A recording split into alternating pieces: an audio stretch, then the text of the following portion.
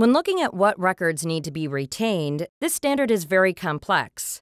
One questionable area of concern is workers' compensation records. Workers' compensation records may be covered under this standard if the treatment received was the result of exposure to a toxic substance or harmful physical agent. When the only exposure is to a safety hazard such as tripping, falling, cuts, etc., the workers' compensation record is not covered under this standard.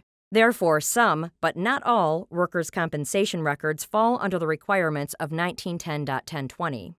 Another interesting aspect of this standard is that any employer who can demonstrate that a toxic substance or harmful physical agent is or was used, handled, stored, generated, or present in the workplace in a manner typical of non occupational situations, they would not be required to fulfill the regulatory retention obligations for those substances.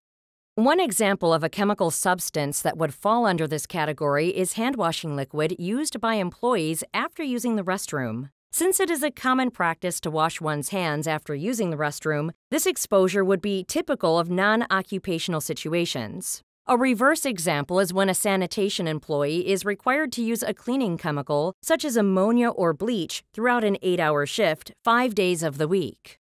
This manner of use is not typical of the usual weekly cleaning done by a homemaker in the typical home, and records such as a chemical inventory list or an SDS would be required.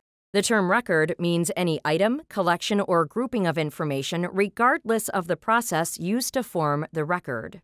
A paper document, microfiche, digital file, microfilm, X ray film, or automated data processing are forms of records.